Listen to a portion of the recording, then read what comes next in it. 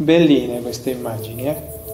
Allora, la psicologia tibetana basa molto le proprie indagini in virtù delle reazioni dovute alle sensazioni.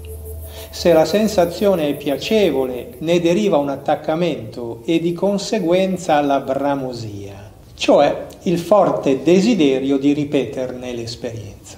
Poco male se si tratta di qualcosa che procura benessere, ma quanto dolore ci può procurare se tale attaccamento è di carattere nocivo?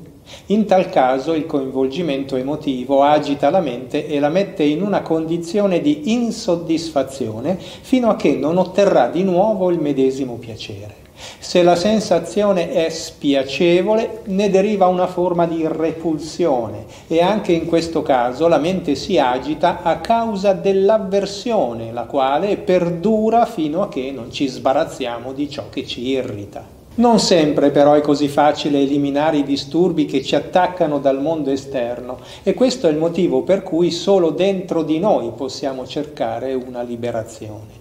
L'analisi delle sensazioni per trovare la loro origine, avere coscienza di dove ci portano e apprendere l'arte del controllo mentale per non lasciarci sballottare ovunque, di qua e di là, dalla nostra mente è di vitale importanza per l'ottenimento della quiete interiore interiore.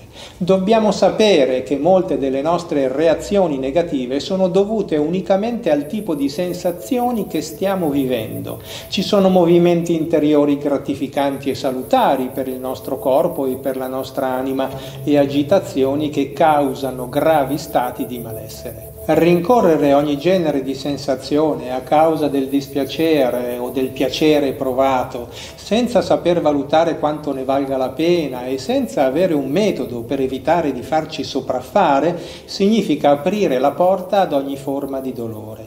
Imparare a conoscere le nostre reazioni interiori e a dirigerle in modo che non possano più nuocere a noi stessi e agli altri è il vero, sano, direi unico cammino della ricerca spirituale interiore. Tratto dal corso Naturopatia dell'anima, diventa consulente filosofico. Bye bye.